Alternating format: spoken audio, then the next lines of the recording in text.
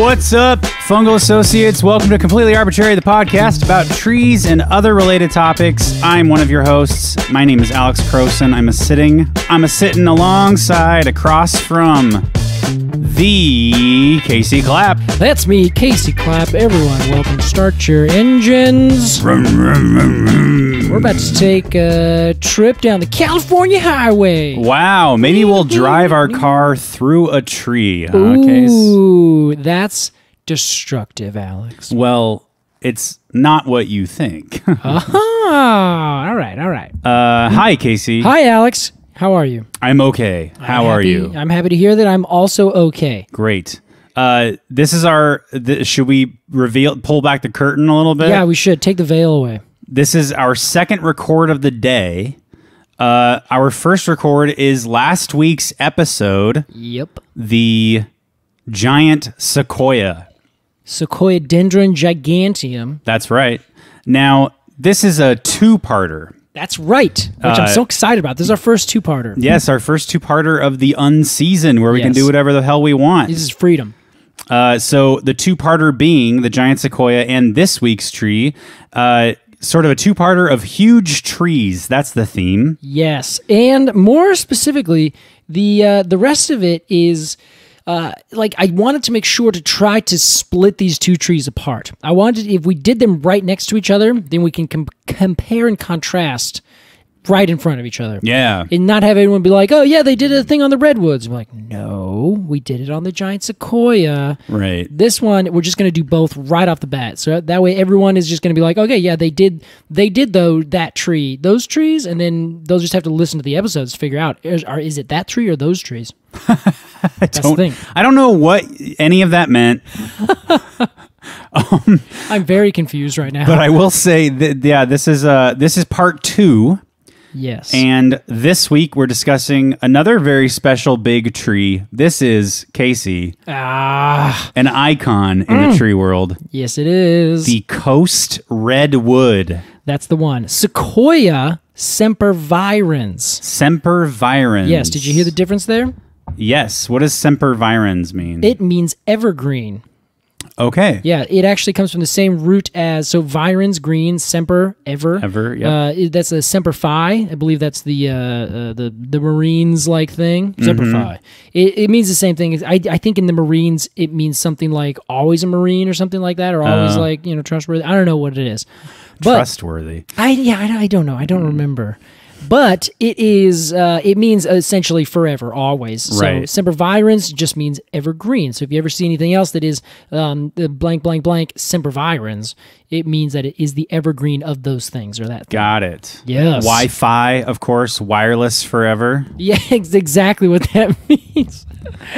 You're good with etymology, man. I Wow. got, I got the knack. You do, yeah, say. you do, you do. Uh, so yeah, the Coast Redwood this week, Casey, and let's imagine. Let's just jump right in. Let's imagine, as we do every episode, that you and I. Hey, last week I fumbled and said we were going to walk through uh, an, the Ewok forests of Endor. Mm-hmm. This week we 100% are walking through the forests of Endor. We're gonna jump on our ATST. Yes. We're gonna start cruising down, looking for these little hobbit-like creatures that we can explode with our lasers. yeah. Oh, we're okay. We're on the dark side now, Right. Alex.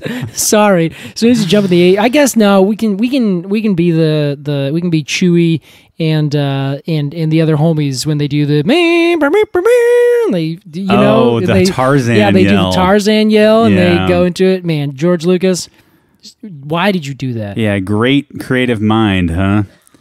ah Good one. and we come across some uh did i say come across we Yeah. come across some redwoods and uh casey let's let's go ahead and id this huge tree Okay, so the first thing to note is, of course, these trees are just as the giant sequoia that we covered the last time, massive trees. Yeah. They are huge trees. They don't understand how to be small. They only know how to be big, right which is great because we love that about them. So the giant sequoia grows way up at the top of the mountains, 4,500 feet in the uh, gigantic big uh, Sierra Nevada. Whereas the coast redwood, the topic of today, grows on the coast of California from about Big Sur, the um, uh, Santa Cruz area, like generally that, my, what is it, Monterey Bay. From there, natively up north to just beyond the Oregon border. So, we technically in Oregon here have what we would call native redwoods, which is kind of one of those things where it's like, oh my God. So, we just draw like a literal horizontal line completely arbitrarily. And then we decide that, yes, this is now, uh, you know, this is the border, native, not native. So, they grow only in a what they call the coastal fog belt. The fog belt. Yeah, you like that? I love it. So it's a you know like San Francisco's famous for fog and all that kind of stuff. It's the same. It's the same things. The same place. So it is a essentially that northern Californian coast that is so beautifully, beautifully covered in fog and like what gets all the people to go to California is like, yeah, California, it's great. It's like Northern California and Southern California are like two different vibes entirely. Yeah, totally. The redwoods like are the quintessential Northern California vibe. Hmm. And what they do is they grow on the coast almost no more than 30 miles inland, like almost just directly along this very skinny line on the coast. And that is because they, for whatever reason, have developed a knack for that super wet, super moist area right there that gets like the brunt of every winter rainfall that comes through. And then during the summertime, they have these gigantic clouds that roll in, this big fog. Redwoods are amazing and specifically adapted to let water condensate on their leaves from these clouds, and they suck it up through their leaves. They get water as well as it drips down through the forest floor to keep the rest of that area super moist. Hmm. So the fog belt is not just a nice place they live; it is their like means of getting water from the sky and from the ground. That's pretty cool. Pretty cool, right? So these these these uh they like it they like it wet. They like it wet. That's the that's the perfect way to describe it. So um, you're walking through this forest, and the first thing you're going to notice is exactly that. They are wet. They're super wet. They're very foggy. They're very moist. You're very comfortable. The humidity is high, but not like tropical forest high. You just feel like it's humid there, but mm. it's kind of cool. And you're seeing again these gigantic, gigantic monoliths in the distance. But these monoliths are way closer together and they're perfectly straight all the way up. It just looks like you have a series of like like very tall spires all right in front of you and you're almost like I can't even picture I can't I can't like focus on one. There's so many of these perfectly straight just tubes going straight up Yeah. but each one of those tubes is like no less than 15 feet in diameter. Not to mention, Jesus. that's like a small forest of them. They can get anywhere between, like, right now, the biggest ones are like up to 26 feet in diameter. That's So, like, around a giant sequoia uh, size there. It sure is. It's it. They are about the same size.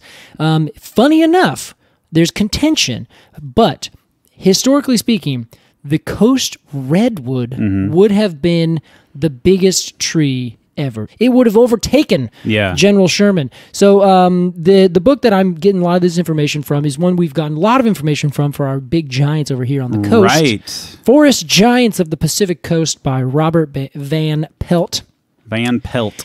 And what Robert describes in here is that there's, in fact, uh, some big trees. As we talked about in the last episode, the uh, Eucalyptus regnans, that there is evidence that there were trees that were taller than 400 feet. Like I said last time, I kind of maybe should have given it more credit. Sorry. Is that like an all timer size? Yeah, this is like um, when I said the last time, and I'll say again that people said, yeah, this was the biggest tree, it's over 400 feet tall. Some random loggers said that, but then they never like kept it and like never had other people come out and measure it and be like, yes, official measurement. Let's publish this. It's it, it's real. It's existed. I swear I seen it, they yeah, say. exactly. It's like we we cut a tree that was this big. Yeah. So Heard say- that one before, guy. Exactly. Come on, we, you're not going to pull the wool over our eyes or the fog. Mm. But as it works out, legend has it, and there's no reason not to think it.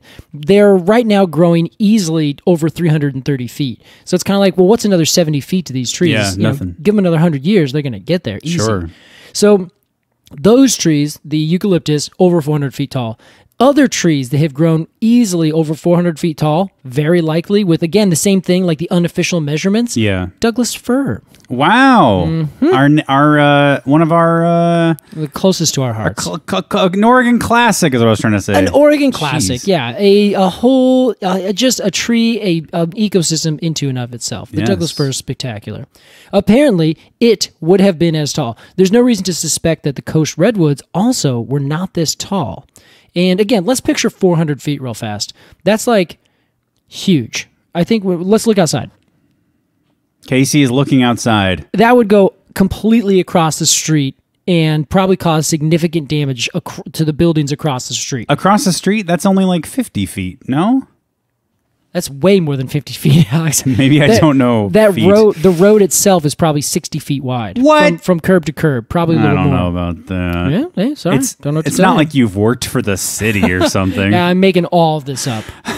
the sidewalks each would be a minimum of 12, probably. So that would 10 rather. So those are at least 20 feet. So it's probably 80 feet just across the road. Okay. So then if we walk over like beyond us a little closer, we can say that's 100 feet.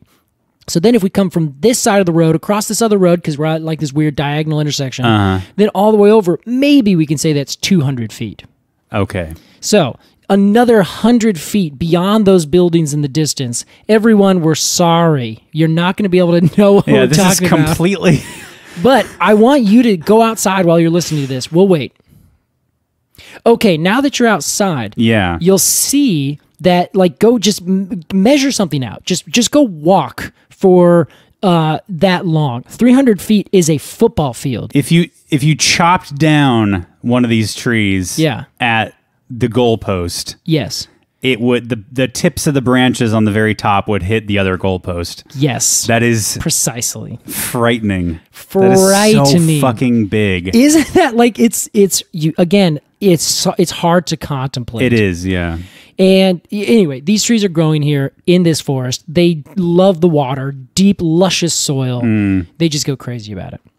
So, this is the coast redwood, where it grows, how it grows in these beautiful areas. One of the tallest trees, right now, the tallest tree that we have measured and officially given the thumbs up to. But Douglas fir, uh, giant sequoia, and the eucalyptus, uh, specifically Eucalyptus regnans, those are like the, the reigning champions. With uh, honorary mention, the uh, Sitka spruce. Well, Casey, let's hit let's hit the big three here. We have get it. leaves, bark, and then we're going to talk cone. That sounds good to me. So, in contrast to the giant sequoia, the leaves of the uh, Sequoia sempervirens, which is always very confusing, the coast redwood, they are actually needle like leaves. They come out, they have little points on the end, so they're kind of a little bit pokey. They're two ranked, so they come out left and right on either side of their twig. And they are dark green on top with two lines of stomata on the very bottom. So if you flip them over, there's like two white lines Yeah. directly underneath. So those little guys grow out and they they kind of look it's kind of I I I I want to say like they look almost like shaggy hairy stems. Yeah, they've you got sort of seen a palm frond sort That's- of yeah. attitude. That's a good attitude to have. uh, yeah. They're they're not like they're not like a pine needle. No, exactly. Like they're they're kind of bunched right next to each other. So Um, yeah. it's like pop pop pop pop pop pop pop. They're and, dense. yeah, and then the, when there if there's a twig that comes off on the left and right, those also are like pop pop pop pop pop pop pop pop, pop right next to each other. So it looks like um the the tines on a comb. If you like smashed them and flattened them out, Mm-hmm. and then put them all right next to each other, and you build like a little cone man with a bunch of uh, comb man. Co- Comb man. comb man with all these little combs that are a little flattened out. That's what it looks like. So they kind of looked really What is- bunched together. You're you're you know sometimes you really nail an analogy, Other times, and then there's comb man. comb man, I believe is how it should be pronounced. There's a B, right? Yeah, they they're they're really densely packed on over. the on the twig. Um, They look like they would make a great, you know, if you if you need to stay dry, Ah, yeah. uh, you could do worse they're than a, than a than a canopy of these things. Right, except that they'll be growing so high into the clouds that they'll actually probably more likely than not be causing the rain that's hitting you Hmm. than just growing uh or rather than if you were out standing in the fog. Let's let's let's imagine that you climb it and cut some off. Ah, off. yeah, there you go. Perfect. Or there's some there's some that have fallen after a after a storm. Yeah, a bit of a tussle. So as it works out, the other thing about these leaves is that where they grow closer, so you have a twig that's growing. That twig then has a new shoot that comes off on the side. So now you have these two twigs at a Y. Yeah. Where the new needles come at the base of those twigs, where uh-huh. they kind of touch, the needles are really short. And then as the twig is growing further mm. out, they get a little bit longer. So they kind of have this sort of like hist like a very smashed histogram kind of idea where they're very tight, then they go longer, then they go back in towards the tip again. They almost get form like a leaf shape. They kind of do, yeah. That's that, I never actually quite noticed that until yeah. So are, do they grow shorter at the at the base of the stem because they need to have room for the other? I don't. I don't know. I would think so. That I mean that would make sense because you don't want why put so much effort into overlapping Yeah. things. You're just shading yourself out. Yeah. I think it's either that or like it's just getting going. So when it puts on its first new needle flush, like the first ones like I'm just starting, but then by the time they get to like that size, the needle twig has already grown so far that now it's just like sorry. And it puts all of its new energy into the next ones and the I next ones see. and the next ones. But then when it starts slowing down, it starts pulling that energy back. So then they get a little bit smaller, a little bit smaller, a little bit smaller. I see. That's what I think, but I'm not sure. Cool theory. I, I think the other the other idea them them not wanting to shade that's like such a micro adjustment. Yeah. You know, like a, a tree that big, I, I doubt that amount of shade would Yeah. make a big difference. Exactly. It's probably it's already just cooking. It Yeah. doesn't mind. But these trees are also shade tolerant, so it might be uh, that Oh. that may be the you know that could lead us away from that theory. They tolerate shade. Therefore, they wouldn't mind if they were shading each other because Yes. they would still work with it. Got so it. it, that leads us away from that theory. Got it. So the leaves are these adorable little leaves, and they grow. They're obviously evergreen. They're very dark green on top. Every now and then they do have that same bluish tinge that you can get in some conifers. Yeah. But the thing about these is that when they drop, they drop the entire twig at a time. So that entire Hmm. little like like twig, that that comb that we're talking about, you don't lose tine, tine, tine, and tine and tine. You only lose that entire comb all at once. Interesting. Yeah. So I don't know why exactly the Dawn Redwood does the similar thing where there's individual needles, but it drops that entire twig when it goes deciduous. It's not messing around. Yeah, it's just like, yeah, it does the whole thing. So it's very curious why it does that. Well, let's talk bark, Case. Let's do it. The bark woof woof. Man, it's just it's so gorgeous. It's a similar kind of bark pattern as the um, the giant sequoia. The big difference that I see is giant sequoia seem to me to be more rounded off. Like their bark appears more soft. And I mean that both in the strict sense where if you touch it, it looks soft, but also in like the texture on the edges. There's no like sharp points I see. as opposed to the coast redwood. Its bark is much more angular as it's growing up. Yeah, it's a little more roughly hewn. Yeah, exactly. It's a that's that is the definition of of this bark. That's a beautiful. That's a beautiful term. So it, it's very fibrous, but the fibers create these big furrows, and these big furrows kind of crisscross over each other, but they're really elongated and kind of irregularly crissing and crossing. Mm. Similar to the giant sequoia, the bark is like six inches thick. Like it gets really thick really fast. Also fire resistant. This tree, even if you do burn it down, or burn it if it gets into the like through the bark in, in into the wood of the tree the wood will burn but the rest of the tree will be perfectly fine. Like it grows in a way that is the exact same as every other tree where the cambium layer on the outside is what actually is doing all the work going up and down. We learned cambium means exchange. It's where the uh, some things are going up some things are going down the phloem and the xylem. Mm-hmm. and these trees will just keep on growing right through that. That's But pretty cool. their bark is is super super fire resistant Do they grow? We talked in, in the uh, giant sequoia episode how they grow kind of conally, uh-huh where the bark at the bottom is is the most is the most thickest. Yeah, Is that the taper. same with uh with this guy? It is only in so much as the bark is at the bottom is the oldest bark, so that's been thickening the longest. Yeah. But it doesn't grow as thick quite as fast as the giant sequoia. The Okay. sequoia beats it out on that. So it's more columnal. Exactly, yeah. And it is amazing how quickly it will create that columnar shape, hmm. columnar shape, where you just have this column that looks like it's perfectly straight for literally hundreds of feet, like sometimes 150 feet or more. No bark, or I'm sorry, no branches, just a straight column. And if you measured it at the bottom and you measured it at the top, you would certainly see there's a difference in diameter, maybe of like a few inches or a foot or something. But it's separated by 80 feet or more of space. And so you can't tell you know the difference like oh is there is is is that smaller up there or down there? Like where where's the increments on that? Right. you just can't tell. It's so incremental that you can't really yeah. tell by looking. you just can't tell. You have to actually measure it to see the difference. Okay. so the bark is really huge. The bark is is just this orange color. Of course we always call it redwood because it's very reddish orange. Right. and the bark or the wood itself is also very red. So it really does keep keep its uh, term redwood very well So the bark and the wood are both red. Yeah. Well, Casey, let's talk cone. Uh, cone I, I have something to say about this cone. all right i will hear it now I look at it, Mm-hmm. and I if you put one of these next to a giant sequoia cone, I'm not Yeah. sure I could tell you the difference. oh okay But I'm sure you could tell us the difference. i sure can well, they're from different trees. I know that much. what other questions do you have? I saw where you were going. So the difference between these cones, Alex, is the coast redwood is maybe an inch or inch and a half long, Aha! always, and it looks exactly. It will, I'll, I'll take you down a uh, down a uh, continuum here. You have the Dawn redwood. The Dawn redwood. It's a bunch of lips, as we know from our most recent uh, Cone of the Month Club. Yes. Now, that adorable, adorable little cone is very like smooth and all the features are very well defined for the Dawn Redwood. Yeah. It's very it's it's it's a perfect little cone. Very woody, stays exactly what it is. You love it. You go and then transform it into a coast redwood cone.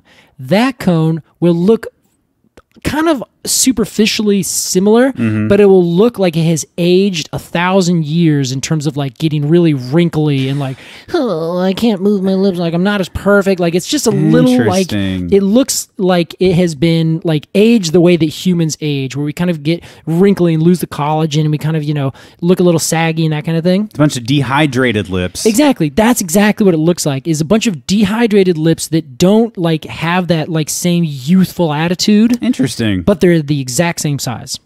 oh, they are. Exact same size. Like All right. damn near. Very, very close. Okay, interesting. Then the giant sequoia, it has that same wrinkliness that you could ever want, but imagine that wrinkliness maintained its like strength and like structural integrity Hmm. Okay. and then tripled or quadrupled in size Right, and got okay. way bigger that is the giant sequoia where it has the same like bunch of lips bunch of wrinkly lips but a bunch of wrinkly lips that are like i'm old but still fit you know Old but still lit, like the there you bristle cone. yeah exactly Uh, yeah, I love these. I love these humongous trees with tiny little cones. They are and they, they are tiny, and the seeds inside even tinier. Like Sure. like I think they're maybe two or three millimeters wide, Wow, teeny tiny.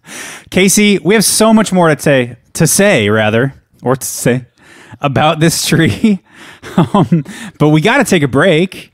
We always do, The time comes, it's it'll pass. and it is that time. And we'll talk to you real soon.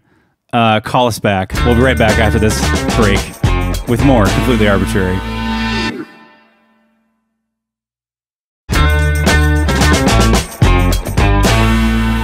Welcome back to Completely Arbortrary. Today we're talking the Coast Redwood That's right.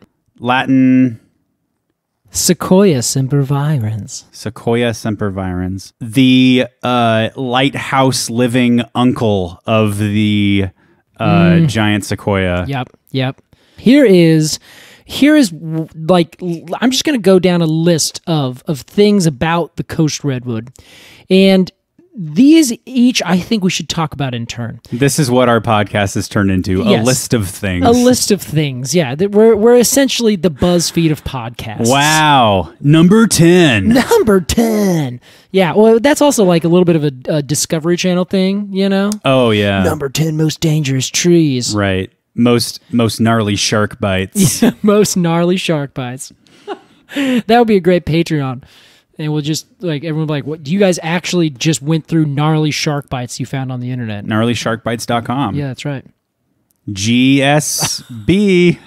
Anyway, back to trees. Whatever. So the coast redwood is a tree that everyone, like everyone in the world, is thinks is great. Like people come from all over the world to see these trees. Yeah. Sometimes they think they're going to go see the sequoias, and they mess up, and they go to San Francisco, and they just stay on the coast, and then they're like, "What? What? What? Where's this one?" They're the, the famous ones, like you said, you can drive through, which is, uh, it's just such a thing. Everyone thinks there's the uh tree that you can drive through. Like, let's go. Go. Did you go to the drive-through tree? There's like A whole 30. bunch. Yeah Wow. Anyone who had private land with a big tree, they like made that happen. They just dug a dug a big tunnel into a tree. Was that uh was that a product of car culture in the Oh, Yeah. 50s? Yeah, yeah, exactly that. Where everyone that's as soon as people started coming over to California to live their, you know, fancy lives after the war and they had their newfangled car. Yeah. Yeah, and which is it worked back then because cars were way smaller, so that you could just like drive a little teeny tiny Model T through this, you know, medium sized tree. But then they kept it going, and people were like, "Uh, "What? What are you saying? I can't drive my Hummer through this tree?" And it's like, "You're it's a small tank, and our tree is only a certain diameter." It's very sad, but it's just I this I think of all things is tree mutilation because there's the trees are still living. That's- right. So do, and they just carve a hole into it. do they compartmentalize around these things? I yeah, mean, they try their best. That's a big that's a big hole It's a to big fill. hole they do. Yeah, Damn. but that's what's great about these trees is they still live. Like that tree is still probably a healthy tree, or any of those trees. I one fell over like a couple of years ago, which makes sense. It's very structurally compromised. Oh God, yes. You that- cut a hole in it. Man, that is such a that is such a tacky fucking Oh yeah, embarrassing display. It used to be everyone wanted to do it. Like How that was the fucking thing. lame. Well, God. it it does though, Alex, exemplify something that's amazing about these trees. Yeah. Is that they are survivors. Yeah. They only need the tiniest amount of uh, connection between their roots and the upper canopy, and they will live. Not only will they live, they will still thrive and grow taller as long as they don't physically fall over. Yeah. They will continue to just bang it out like they've been doing it every single day. This is surprising to me because you would think a tree that needs and loves so much water Uh-huh. would need a lot of cambium to move that shit up and down. Yeah. But like you said, it uh what is, what is that reverse breathing thing they do where they suck in water through the leaves? Oh yeah, exactly. I can, I Um, like the idea of reverse breathing. That's cool. So they have that. Yeah, that's half the reason they're such good survivors in this area specifically, but also elsewhere because they can still suck in water Yeah. in good conditions from their stomata way up in the canopy. And is that an, like an adaptive behavior? Oh yeah, for sure. Yeah, not a, most trees can't do that or don't do that. Sure. and they just need to get water from their roots. Some can, so it's, it's definitely not a, a you know 100% one way or the other. Some do it to a certain degree. Redwoods are adept at it. Cool. Very good. And of course, like we said before, they're the tallest growing tree right now in the entire world. Used to be way bigger in terms of volume than even the giant sequoia. Wow. There's a legend has it 55,000 uh, cubic feet of space, which, if you recall, is I think a thousand cubic feet bigger than the biggest giant sequoia that we have right now. Giant uh, uh, General Sherman. Oh, what did Casey try to say? so that's pretty friggin' cool. Yeah, that's that's that's wild. Yeah. I mean, I've said it several times in this episode and the previous episode. It's it's uh, sort of uncomprehendable. Uh, Unfathomable. incomprehensible? Incomprehensible. Incomprehensible. Yes. Not comprehensible. Correct. It is comprehensible nah. no, you sounded like Matt Berry right there. I don't know who that is. Yeah, you do. All right, he's a funny guy. So in uh the thing about these trees that I think is like the most spectacular of all is nobody before the 1980s really gave too much of a shit about what's going on up, up in the canopy of a tree. They were just like, oh, it was trees. There's you know, maybe there's some uh, birds' nests, uh, there's some lichen, moss, whatever. Sure. Get out of here. We Uh, can't I see up care. there. Why care? Yeah, why care? So, um, a couple enterprising people. Um, one guy's name is Steve Sillett. And he's a researcher at the Humboldt State University in Northern California. And Steve was like, you know what? I'm curious. And there was there were others. I I, I uh, fail to remember their names off the top of my head, but he's the, by far the most famous of them.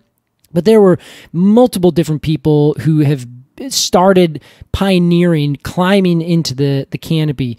Um, one person, um, Nalini Nadkarni, is another researcher who also said we should climb trees and see what's going on up there. Wow. And it was just like a, a stunning, stunning revelation. So we're saying, hey, don't cut down these trees. They're habitat. They create habitat because they create a forest and they create the conditions uh, in which a forest can thrive.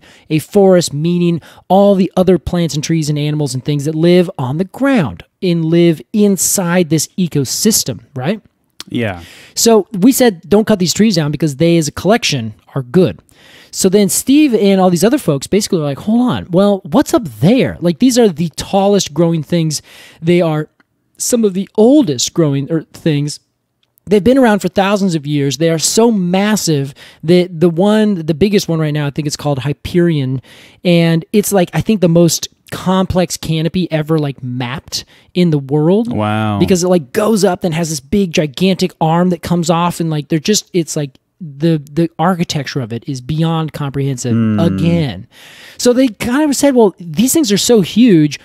Could they be an ecosystem unto themselves? Oh my God. the suspense. So these people started climbing these trees alex. They went all the way up and they it's like okay well they actually have to take um uh, crossbows with little wires on them. No. Shoot them up over the tree or into the tree somehow. That comes down. Then they pull up a str- or pull that string 300 feet up and 300 feet back down with a rope attached to it. Attach that rope to their harnesses. Then they and they sidle on up. That's how they do it. That's how they do it. a crossbow. A freaking crossbow. That's pretty. That's pretty. It's like a grappling hook. Yeah. Essentially. Essentially, yeah. Oh, there's- sort of. There's nothing else that shoots that far up. Like they have to shoot 300 feet straight up. Amazing. or at least a couple hundred feet and then that's like some of them the first branch isn't for a hundred feet or so Ooh, and then they climb them. God, And that makes my skin crawl. oh, oh imagine how the tree feels Probably nothing. Casey, would you? what are you talking about there's literally a thing crawling on its skin would you? Uh, it's not skin. Casey, would you? would you climb a tree like that? absolutely i've been 175 feet i think that's my highest or Oh, 100 boy. probably close to 150 You're. You know what you are? You're a mad lad. yes right i am That's Yeah, insane, right Case. it's it's so cool though like to get up to Ooh. the top of a tree like that and see what it's like like assume you let's just say you can do it safe right so there's ways that they can do it and get people who are not like climby people up where they essentially one person who is a climby person goes up sets the rope on a pulley that pulley then brings back down, or they set the rope all the way through, go back to the bottom. Let's say they're like, hey, how much do you weigh? You're like, I weigh 150 pounds. then you put 150 pounds on the other side of this rope. Now you have these two lines, and you pull that 150 feet or 150 pounds up to the top of the tree.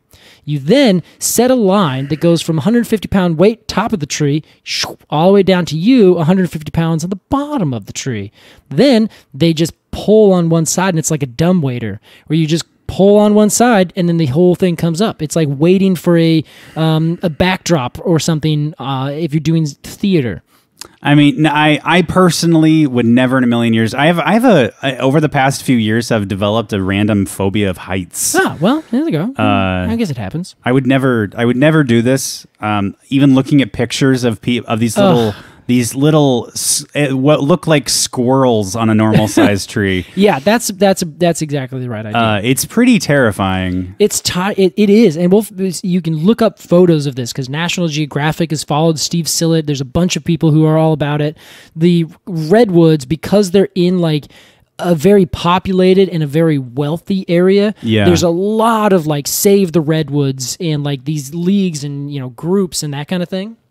Which is wonderful. I just wish we had that for literally every species of tree out there, except for maybe like the apple. We don't need to save those. The tree of heaven. Yeah, or you know, get rid of the get rid of the thunder thundercloud plum. I don't need a the American Society of Thundercloud plums. Okay, let don't worry about it. Shift your focus. I uh I, I mean redwoods have that star power. They do. They've got They that name have that. recognition. Yeah. So um, the they would do that, so you can climb up there. But Alex, when you're at the top of this tree, the the thing looks completely different. Like it looks the same because obviously you're in a tree, like you can see it. But don't you're not imagining that there's like this little perfect point where you're on like this little whip of a stem, and you're like, oh, it's kind of moving around.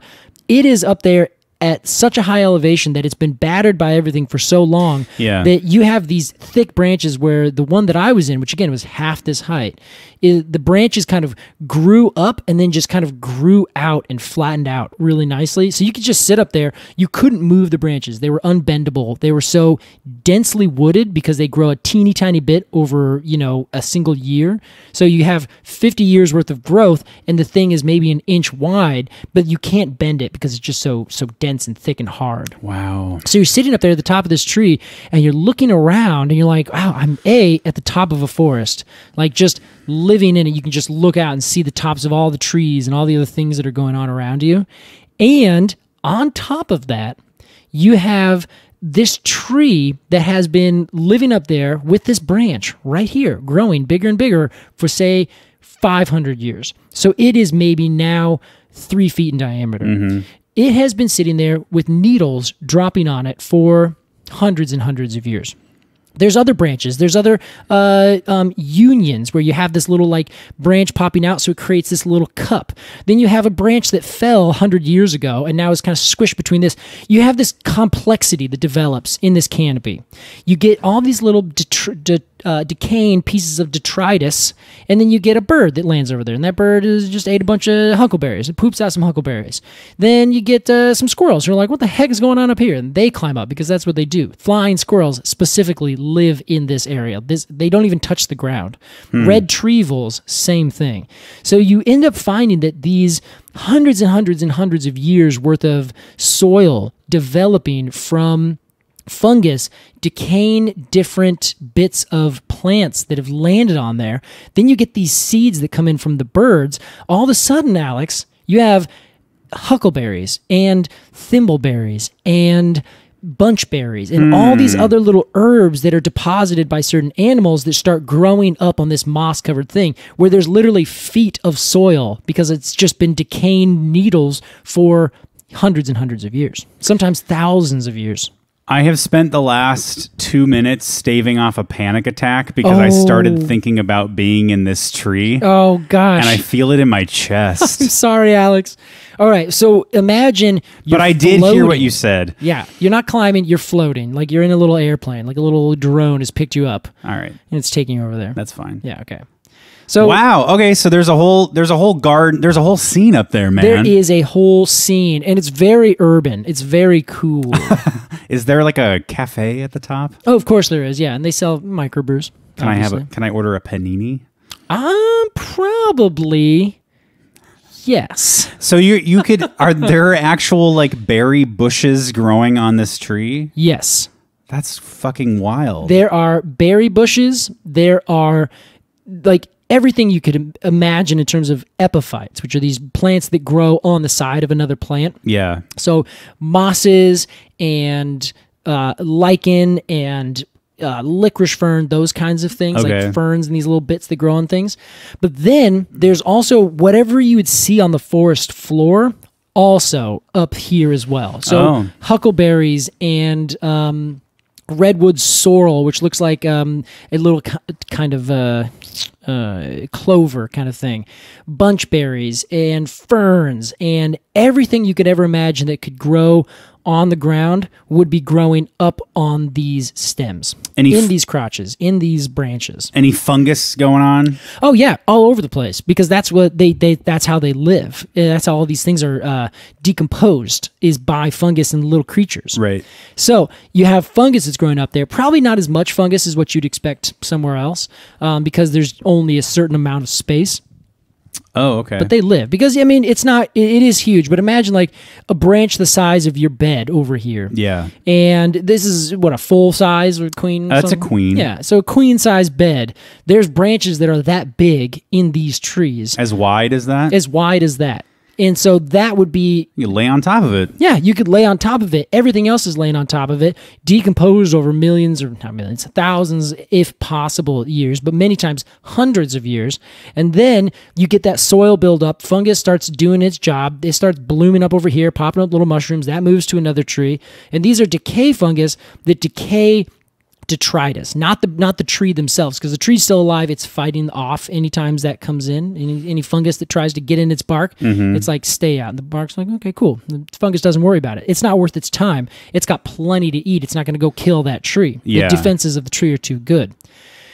Secondly, you get animals that come along with that. There are entire species of salamanders that live only in the canopy. Salamanders. Yeah, What are they they- doing all the way up there? You know what? They just jump. They I assume they walk. like they just walk straight up the side of it. Maybe they get dropped off by a by a bird or something. But they have also you get those salamanders because there are so many little arthropods and bugs and beetles and things and worms.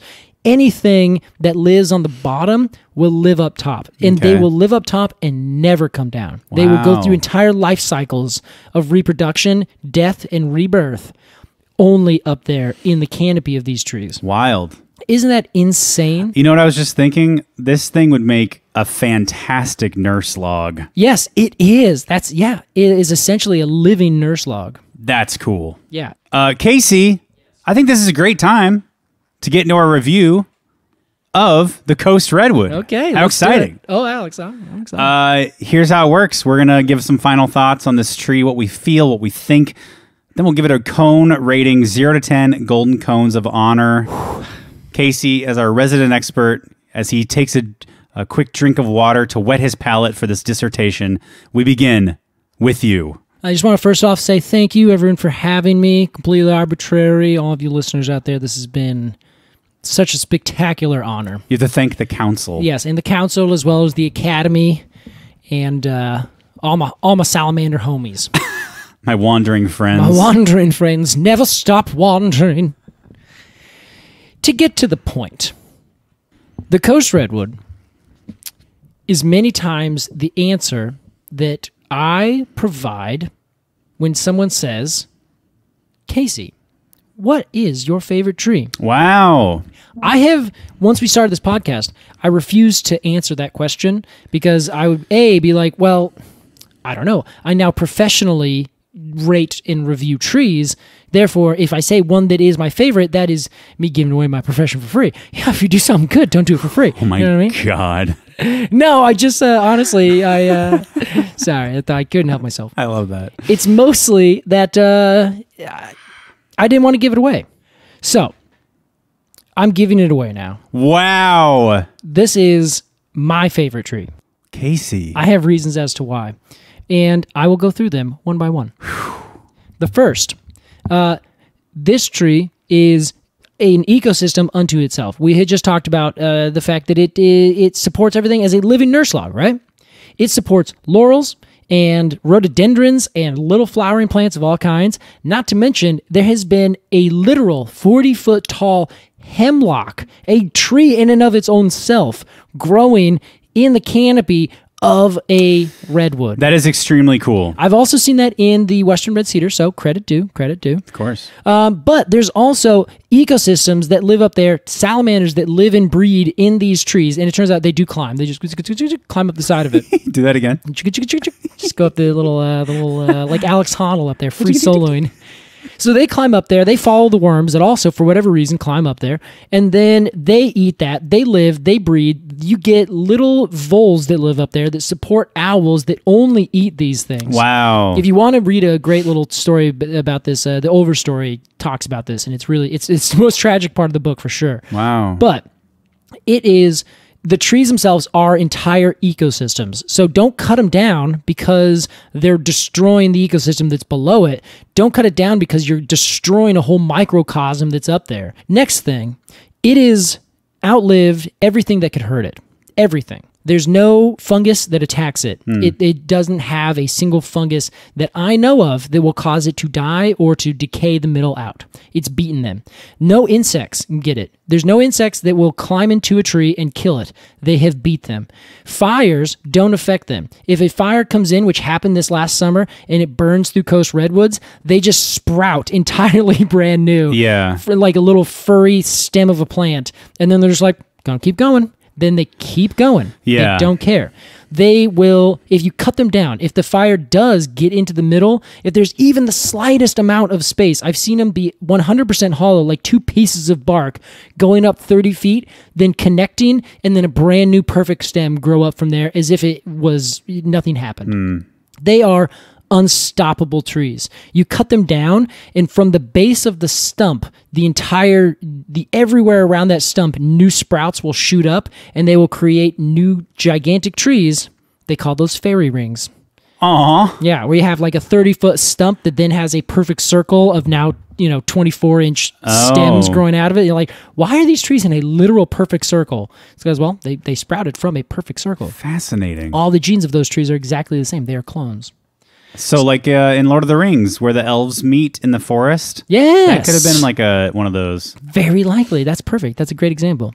So on top of that, um, y- that's if you cut them down. They grow. They're the biggest. They're the tallest. Yeah. They are. They can take water from the sky and the air. What have they not solved? Look at you. They're a ten out of ten, Alex. Wow. They're the perfect tree. I, I I can't say that. The only time I've said another ten has been the bristlecone pine. Yeah. Because it's solved all the problems, but done it in a way that's like I'm just gonna stay here and never stop.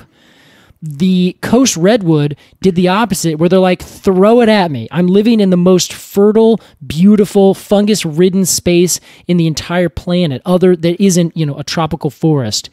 And it's crushing it. Yeah. It just punches away anything that comes near it, including humans. We don't replant coastal redwood forests. We cut them down and they just regrow. Yeah. They just sprout from the old trees. They're the they're the perfect tree. There's just no question. There's no there's no tree that Uh, is as good. Amazing. I don't know how to say it. 10 out of 10 golden cones of honor. It's ten out of ten. Little little funky, uh, little little lippy golden cones of honor. How exciting. Wow, Casey. this is why I couldn't. That's the real reason why I didn't want to tell anyone when they asked me, and they're like, "What is your favorite tree?" I'm like, "Well, I, we got a whole episode planned about it." Wow. I sorry. Okay, that's all. I, that's just all I have to say. A perfect 10. Not to mention they're stunningly beautiful. Yeah. stunningly beautiful. They're forests unlike anything else. I, I, I got to get me down there. We gotta, yeah. We, I'm gonna send you up into a tree. Is what we're gonna do. Yeah, maybe. Alex, I'm sorry. It was very exciting, but the people need to know what your review is Yeah, sure. of the Coast Redwood Sequoia sempervirens. Yeah. the evergreen sequoia. Okay. I think it's okay. I'm just, It's fine. I'm- Everything's fine. I'm kidding. Uh, clearly a powerhouse. Clearly a marvel of nature. Uh, king of the forests. Why not? A true, a true, uh, a true legend of a tree. Mm-hmm. Uh, Ewok approved. yeah, yeah. Um, Yeah. What's? I mean, what do you say? Uh, I, I I ran into a similar issue in our giant sequoia episode. Like, what are you gonna say about it? It's like, yeah, I'm not gonna, I'm not gonna, I'm not gonna have any new revelatory opinions on this tree that somebody else hasn't gone over a million times. I disagree. I find that many of your opinions are quite novel. Well, I appreciate that, Casey. I, I, I think you said it best. It's it's uh it's legendary. It's it has whole ecosystems living in it, which is just mind-boggling. Um, I now want to see like a red wall type uh sitcom. Red wall. Okay, red wall meets uh, like in the sitcom fashion. You know Red Wall. No. Redwall is a book series by uh, uh, Brian Jacques or Jacques Brian. Okay. I can't remember his name. Um, children's books, uh, medieval. Uh, it's, it's set in like a medieval time, but every everybody's a, a woodland creature. Oh, all the characters are woodland creatures. I see. Okay. the abbeys are are run by mouses and or mice, as you might call them. Yeah, I'd say mouses. So imagine like Imagine a cast of characters living in a redwood tree. Ah, yes. Okay, I see. It'd be very adorable. Somebody make that happen. There's Yeah. uh, there's talented artists listening right now. Please make my dreams come true. Yes. Oh, it's our dream now. Uh, man, here's what I'm gonna do. I'm gonna give it an eight. Or sorry, yes, Talk an, your way through. an eight point nine nine golden cones of honor. Point nine nine. Yeah, Oh wow, for my own opinions. stunning. However, I think it deserves to be in the Golden Arboretum of Honor. Oh, So because okay. it is my good friend Casey Clapp's favorite tree, that earns it 0.01 cones, Oh my goodness. bringing my score to a nice round 9.0 nine point oh. golden cones of honor. Wow, I want to know. Ah, Alex, you are. This is so exciting. This is two trees in a row that we get to hear the melodica sing us a melody. To the coastal redwood, Mm. to the coast redwood, we honor you. Congratulations and thank you.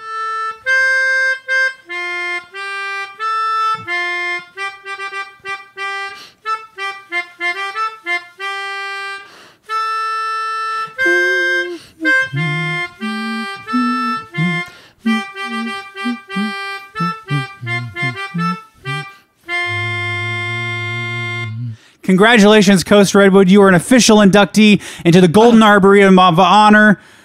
You I'm deserve crying. it. I'm crying a little bit. Casey's tearing up. I up. wanted this for so long. That was our review of the Coast Redwood. Casey, it's time for a segment, I'm so excited.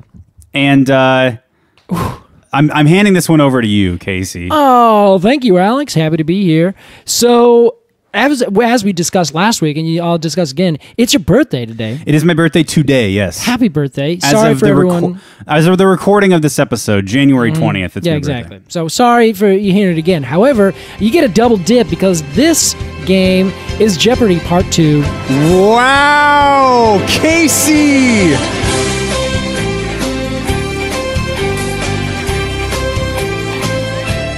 I decided to write a Jeopardy. It's not about you specifically, but I didn't want you to have to, you know, spend this whole time coming up with a game. Think to me, I was like, this is your day. You get to play a game. You know, so a, a week ago, I, I I told Casey, "Gosh, you know what? That Jeopardy was so fun. We should do that again." I can't remember what what episode we did the original one in, but Casey, Here we go. This is a great birthday present. Thank you. Alex, thank you. Happy birthday. We could not have done this podcast without you. Wow. You are absolutely an integral part of something that we're all happy here. So, everyone, when you hear this for the second week in a row, go shout out Alex Crowson. Wow. Here we go. All right. What are the categories? Category number one architecture. Hmm. Architecture. Architecture. Okay. Category number two books. Next one fungal and associates. Fungal and Associates, the law firm. Yes, exactly. LLC. Uh, uh, La Law. Uh, thank you. Uh, moving on. Bob Law's Law Blog. The La Law Corporation. Yes. The next one is The Bees Trees. Wow. The next one, the final one is Heroes. Okay. Alex, Heroes. The David Bowie song. Uh, exactly. Very similar to that. Um, I'll give you a quick rundown. Architecture, those are tree terms. Uh, generally, eh, tree terms. You know, Oh, okay. sometimes the architecture of trees. Great. Books, those are books that we have somehow covered or talked about in this podcast. Okay. The next one, Fungal and Associates, that's about fungals and associates. Okay. fungus, and associates. The next one, the bees trees. Mm-hmm. Those are trees that we've covered that start with the letter B. Fun. The final one, heroes. Alex, name that hero. Okay. Like Greek hero? All sorts of heroes. Popular culture heroes. Oh, I'm interested to see who you think is a hero. I'm interested to see if you can guess who I think are heroes. Here's how the game plays. We have 100, 200, 300, 400 level questions. We have five categories. Alex, as our winner from last week, which Yes. I believe you had approximately $1 million. wow. Okay. the best, the most in all time, Doctor. you get to choose the first category. I will reiterate, you get points for things you get right. I won't take away points if you get them wrong. Oh, great. I don't think that's how it works. I love that adjustment. Is that how is that Uh, no, that is not how it works. You bet whatever whatever the you're betting whatever money that question is worth when you play Jeopardy. Oh gosh. Okay, cool. Yeah, we're going to do that. Okay. So Okay. yeah, you're betting you're betting whatever is here. I have one request. yes. when I ask Mm-hmm. the thing, Yep. will you say answer Yes. before giving me the clue? Oh, of course. Okay. Yeah, yeah. All right. Uh, I'll take uh, what is it? Two, three, four, and five hundred. Uh, no, one, two, three, and four hundred. I'll take architecture for two hundred. Architecture for two hundred. Answer: This is the carrot of root growth that disappears as trees age. What is the taproot? That's correct. Tap All right. root is correct. Alex, that's two hundred points. Well hey, done. Okay. Whoops. I'm I'm gonna make Here. I'm gonna make rent tonight. you bet you are. All right, Alex. The floor is yours. The bees trees for one hundred, please. The bees trees for 100. Answer. This tree is a homonym for another thing in Oregon that's very often gray. The sky is very often gray in Oregon. Yes. Now, where is that sky most often gray? That's a homonym with a tree. See, I'm forgetting what homonym means. Oh, a homonym is a word that is exactly the same uh, or sounds the same, but has different meanings. Oh, sure. Depending on the context. okay. A hom. I have no idea. Eh, beech tree. the beech tree. Sorry, that was a hard one. I see. Okay. And that was only 100. God dang. All right, you're down to 100 points now, Alex. The producers aren't fucking around. No, they isn't. All right, next to you. Uh, I'll take uh, architecture for 100. Architecture for 100. Answer. This is when two parts of a tree are put together to grow together. What is grafting? That is correct. Well done, Alex. That puts you in the lead. All right. We'll be right back after these breaks. Colgate for when you. Um, I'll take books for 300, please, Casey. Books 300. All right, Alex, here we go. The answer is this book was inspiration for several other related topics, ex- especially the sweet ones. Another hint would be we used it at the beginning of the podcast very often. What is the Sibley Guide? No. Oh, too bad. That is braiding sweetgrass. Oh, Specifically in reference to the sugar maple episode where we used it and many other things. A lifetime ago, Casey. A lifetime ago, Alex, you're at negative 100 points. All right, it happens. All right, here I'll we go. come back. What do you got next? Uh, what's that last? The, the middle? Oh, fun, I'll take fungal and associates for 200. Please. Fungal and Associates for 200. Alex, answer. This fungus type forms symbiosis with tree roots. What is a mycorrhizal fungi? That's the one. You're at 100 now. You're dancing around zero, and that's what we Hey. like to see. That's All right, my Alex. style, baby. what do we got next? What's that last category again? uh, heroes? I'll take uh, heroes for 200. Ah, heroes for 200. Answer. This hero beheaded the only mortal Gorgon. Who is Theseus? No, if you can buzz back in. Uh, who is uh, Heracles? you are close, but still wrong. Who can buzz back in. uh, uh, Achilles. Mm, not Uh, quite there. Who is? Sorry, Alex. Bad news. That was Perseus. I'm so ashamed. yep, Perseus did that. Perseus was what I thought I was saying when I was saying Theseus. Oh, all right. Well, we'll give you the points then. Oh no, points. I Okay. got it wrong. You're at uh, you're at negative one So they are Greek heroes. Yeah. Uh, hey, I'll take I'll take heroes for 100. Heroes for 100. Let's see how Greek this answer is. Answer This isn't the hero we deserve, but it's the one we need. Okay, who is Batman? That is the Batman. You're at bats. zero points. Alex, well done. That was a swift answer. uh, heroes is fun. I'll take heroes for 300. Heroes for 300.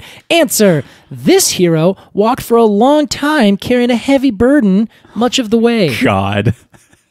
Who is Jesus Christ? No, not Jesus Christ. This hero walked for a long time carrying a very heavy burden most of the way. Who's Forrest Gump? No, you're close. What burden was It's he? not Jesus Christ. No, this is not Jesus Christ. It's more like folk uh, or uh, uh, pop culture Oh. heroes. Walked a very long way carrying a heavy burden. I don't know why you also think that's Jesus Christ. He, he walked to his own crucifixion carrying his own his own cross. oh, yeah, that wasn't a very long way. I'm talking about like Middle Earth long. Oh, is it Frodo? Is it Frodo? Was Frodo the one that carried the heavy burden?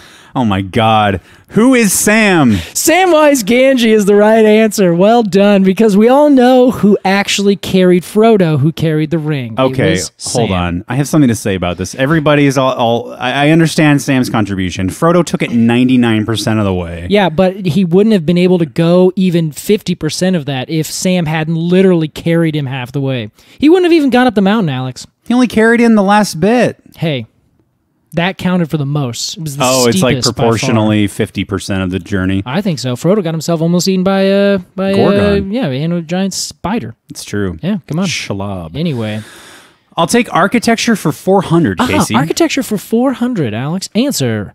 This is the red veil over the seed of a nutmeg. Ooh, what is mace? That is correct. We'll take that answer. Also, it is the aril. yes, that I, I knew that too. Oh, good. Okay. You can also find arils on uh, what pomegranate seeds. yes, that is exactly right. Well done. you are clawing your way to the top. Uh, I'll round it out. Architecture for 300. Architecture for 300. Answer. This series of tubes takes water and nutrients up. what is cambium? Ah, oh, excuse me. What is phloem? What is xylem? Xylem is the correct answer. Oh, Alex just saw me staring at him blankly. I think we would have accepted cambium. Sure. That was a that was an acceptable answer. Because the xylem and the phloem make up the cambium. exactly. but they one goes down, one goes up. exactly. Phloem goes down because it flows down. Well, that's the way to sure, remember. Okay, I see that. All right, Alex. What do we got next? Xylem goes up because it's fun to play a xylophone like Hey, that's a really good, that's a perfect way to remember that. less fun than I'm going to start playing uh, or telling it to people when I teach them how to identify these things. there you go. Great job. The bees trees for 200 case. Bees trees for 200. Let's hope that this is a better clue than the last one. Answer.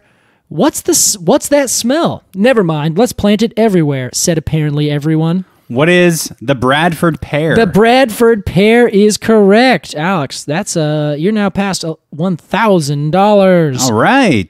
The board is yours. You're at one thousand one hundred dollars. All right. I'll take Fungal and Associates for 100 Here we go. Answer. I'm just dancing around this daily double, huh? You sure are. This fungus creates a burnt zone around its host oak.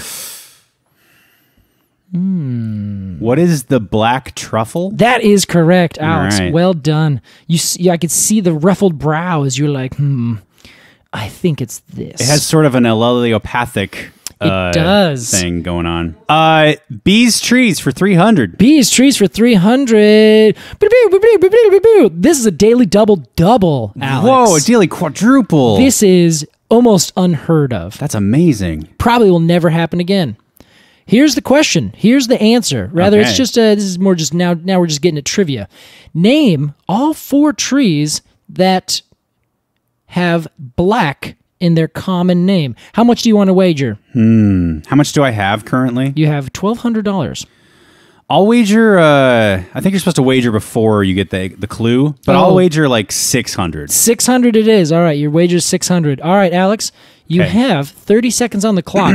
Can you name all four trees that we've covered on this show? Yeah. that have black in the common name. Begin. They're nigras, huh? Mm-hmm. Uh, so uh, the black willow, Yep. black walnut, Yep. black spruce, Yep. Japanese black pine. That's it, Alex. Well done. All right, so you bet 600. Does that mean you get 600? Yes. Okay, perfect. You're at 1800, Alex. Well done. All right, here we go. Next I, up. I, we- I'm I'm proud of myself for that one. that was, a that was good. That was a that was a really hard one, honestly. you would have got points for the 3 that you got though. oh good. Okay, what do you got? Uh, let's take um, fungal and associates for 300. Fungal and Associates for 300.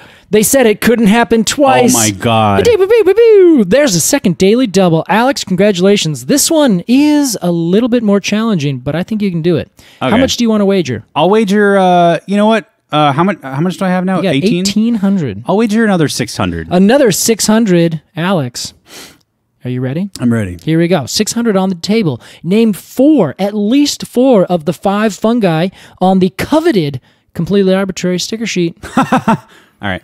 King bolete, King bolete, fly agarica. fly agarica, or agaricus. Okay. We'll take both. Chanterelle, Chanterelle. There's three. morel. Morel. There's four. Alex, congratulations. Thank you. We'll give you an extra 200 points if you can name the last one. Ooh, uh, honey. That's it. Oh my God. That puts you at uh, $2,600. And if you want one of those sticker sheets, go to arbortrarypod.com slash merch. That's A-O-R-B-O-R-T-R-A-R-Y pod.com slash merch today. Welcome back, everyone. What an exciting round we just had. We have only f- six more to go. All right. Alex, what do you have? Books Books. for 100, please. For 100. Here we go. All right. Answer. This book brought Greek life front and center. What is Mythos That's right. by Mythos. Stephen Fry? You are now at 2,700 unassisted points. Uh, books for four. Books for 400. Here we go. You ready? Yes. Shabow! Answer. This book details the forest among the fungus. Details the forest among the fungus. Mm-hmm. Oh, um, If you can get us to the answer, that works. it's uh. Oh, I know it. I swear I know it, but Yes, I don't know it. I'm not going to get there. It's by Suzanne Simard. Oh, the mother tree. Finding the mother tree. That's right. 400 unassisted points. Alex, you're at 2,900. all right. Well done. What do you got next? Three more. Uh, I'll take uh, birds, uh, birds and the bees uh, for 400. The bees trees for 400. Answer. Quote, when I was your age, unquote, is how this tree begins literally talking to everything. what is the bristlecone pine? Oh my God. 30. 300. Well The- done. The oldest tree. the oldest tree. Over 5,000. 5,000 years. Incredible. Yeah. That was around during the, the first kingdom of the Egyptian uh, Mm-hmm. empire. Yeah. which is wild. Yeah, that's that's crazy. Yeah. Well done, Alex. You crushed the, the bees trees except for the beech tree. Thank you. Yeah. All right. Two more. Uh, Fungal and Associates for four. Fungal and Associates for 400. Answer. These fungal associates are a network of tree minded beings from around the world. What are the listeners of Completely Arbortrary? That's right. Everyone, you're the best in the world. That's why you're worth 400 points. All right. Thank you guys. You're the single best. You got me 400 points. Alex, I'm paying that rent. you better be. Uh, Heroes for four. Almost $4,000 today. All right, heroes for 400. Alex, Yeah. are you ready? I'm ready. His brow is sweating. My my mother's spaghetti on my sweater already. Answer. This hero can jump great heights, swim like a fish, and became an important senator. Jump great heights. Mm-hmm. Oh. Who is Jar Jar Binks? You got it, Alex. what a spectacular, spectacular end. Oh wow, The Casey. greatest hero of our time, Jar Jar Binks. Very good. How did I how did I do? What Alex, was my total? spectacular. You got four thousand one hundred dollars. Wow. That is outstanding. I think we're gonna. Ch- yeah, it's the best anyone's ever done on completely arbortrary. I came back. Jeopardy. You sure did. You had a rough start, but that's okay. Is there a final Jeopardy? There is no final Jeopardy. Uh, we actually ran out of time. We have to cut straight to the next show, which is uh, Wheel of Fortune. All right. So sorry. I'm I'm down for that too. uh, Casey, very well done. That was a lot of fun. Happy birthday, Alex. I hope you had a good time. Thank you. I had a great time. Casey, it's time for our completely arbortrary Q and A. All righty. This week's question is from Guinevere. Guinevere, hi. How are you? Hello, Guinevere. Guinevere asks, Guinevere says, rather, after listening to your opinions on bonsai, I wonder what each of you thinks of the living tree sculptures and furniture of Peter Cook. Oh yeah. Are you familiar, Casey? I am. Uh, if you search for Pooktre art, P O O K T R E art, uh, you will see lots of images of his work online, including a living chair. Does this type of sculpting shorten a tree's lifespan? Or would it be like the living root bridges in India and get stronger with time? What kind of trees would be best for growing my own living lawn furniture? If you could grow one piece of furniture for yourselves, what kind would each of you choose? Thank you for continuing to make such a fun podcast. I look forward to hearing your thoughts, Guinevere. Guinevere, thank you. Uh, great questions. Well done. Casey, if you Google, we'll put some of these uh, photos on the Instagram post for this show. Uh, if you Google these these sculptures. it's not like he carved something out of a tree. Yeah, right. It's not like a sculpture in that sense. It is him taking a tree and manipulating the branches and how they grow to form shapes. Yeah. Uh, most notably, a chair that he sits in, made of branches. It's really fun. Like it, it- I, I, it looks, it looks like one of those hangy things that you have like, uh, Yes. like on a, a porch or something. yes, Yeah. uh, like a hanging kind of enclosed cocoon chair. yeah, one of those egg basket chairs. Yes, yes, Yeah. great. Uh, he also has these people that are like they Mm-hmm. have like a head and arms and legs. And I was thinking as I was looking at, if you were lost in the woods at Oh. night and you came across these, like a mist. Yeah. Mister, Mister. and you and you get close and you and and you say, "Have you seen?" And then you you notice this is like a Twilight Zone episode. Yeah, exactly. that he's made of wood. And you're like, I hate this place. Uh, terrifying. Yeah, I Yeah, don't know. it's a little bit scary. What do you think? Does this hurt the tree? You know, it really doesn't hurt the tree that much. Uh, it the tree is is going to be trying to grow straight up. Like that's what they do is just grow straight up and straight out as best they can. Phototropic. Exactly. So it's manipulating the tree, but you're not hurting it. You're just making the tree be like, oh, God, I was already up there. Now I have to go over here. Yeah. So it's the same as bonsai. Bonsai actually does this a lot. In fact, in a lot of different gardens, people do this to like get a branch to grow in a certain space. Because once the branch is there and lignified and like like solid, it will stay there. It's the new growth that will try to grow off in some weird direction towards the sun. Yeah. So in this case, all they're doing, uh, this entire artwork is just bending the branches as they're growing. So it's not even like hurting the tree in that you're like breaking it, then it has to repair itself. You're just bending them down, letting them grow. And then when they get how as far as you want to make the back of the chair, you just let them grow upright again. You mm. just like let them do that and you just move them. So it's really actually I don't I don't mind it at all. I think it's actually super cool. It's very patient, which I I appreciate because you have to wait for the tree to grow and get strong enough to. Yeah. I imagine you could only make a few of these sculptures in your lifetime. Yeah, I, I'd assume so. You might be able Well, to start doing a bunch on a yeah, bunch of different trees. I, you know? I- now that I say that, he probably doesn't do one at a time. yeah, wait 30 years and then tries luck on the next one. I'm finally done. Yeah, I will now make grandchildren a now. table. yeah, To pass these projects on to his children. right. I think that they're much more similar to the uh, the bridges in India and other places uh, where they use banyans Oh, to yeah. grow bridges, and it's exactly the same. Where the tree or the the the tree itself will over time get stronger. Like the wood will get thicker and stronger. The what is now just like individual bars kind of of the seat or of the back of the chair Uh-huh. those will over time grow into each other and then it'll become like you know a flat surface more or less except it'll be kind of ribbed because there's going to be you know bumps between the the top of a circle and where they touch So, Casey, let's imagine that you wanted to make a piece of furniture out of a tree. What tree would you use, and then what uh, what piece of furniture would you Yeah, create? this is a good question. So I love the idea. So I would probably want to do something that's fun, useful, but not too useful because honestly, it doesn't look that comfortable. Like I can't imagine that I don't want to put it next to a fire and things like that. yeah. So I would probably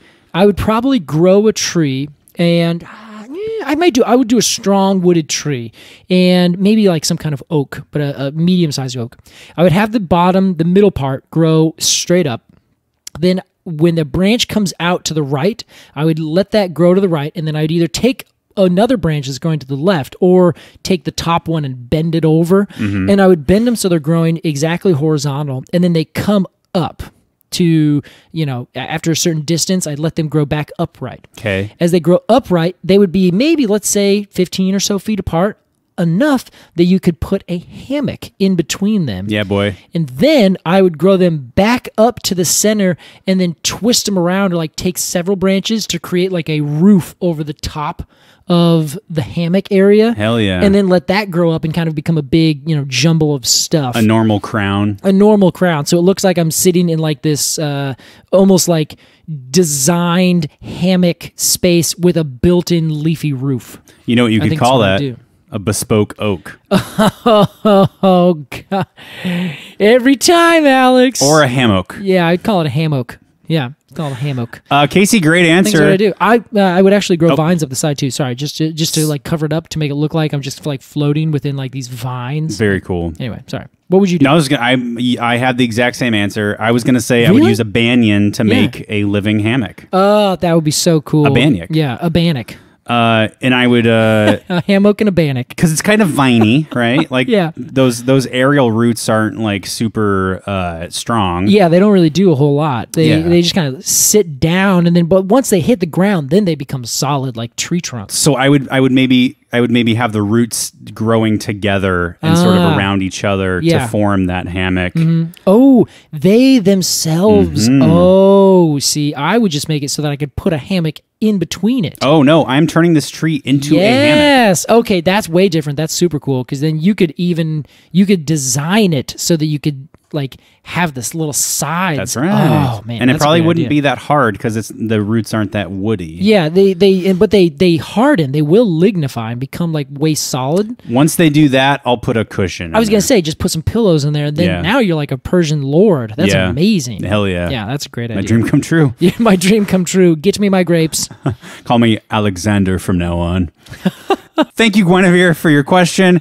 Uh, if you have a question for Casey or I, for some reason, about Yeah. trees, uh, or a question for trees about Casey, that's an interesting twist. oh yeah. that's Email us fun. at arbortrarypod at gmail.com. That's A R B O R T R A R Y pod at gmail.com or and or join us on Instagram at arbortrarypod. Hey, if you want to support this podcast, you can go to patreon.com slash arbortrarypod. Pick a tier, any tier. You can join the uh, Arboretum, get two bonus episodes a month about trees and other related topics, or the Cone of the Month Club, and get a unique die cut cone sticker illustrated by an independent artist every month in your mailbox, your physical, actual mailbox. They're so beautiful too. Thus concludes our two parter on the biggest trees. Ugh, I'm so happy, and everyone now should be able to tell the difference between a coast redwood and a giant sequoia when you're waltzing through. I'm excited. I feel like this was this was good. This was a long time coming, Alex. You almost made a really good rhyme there I did. because you said, uh, Hope you can tell the difference between a coast redwood and a giant sequoia as you're co- uh, waltzing through, they're going to say California. Oh, jeez. I didn't even think about that. I well, like, you know, I'm just a bad rhymer. Well, this is, we bring different strengths to the table. I guess that's true. You're a natural. You didn't even know it. Yeah. Wow. You're a poet. Oh, end the show. Thank you so much for listening to this these episodes of Completely Arbortrary. We'll see you next time. Goodbye. Au revoir.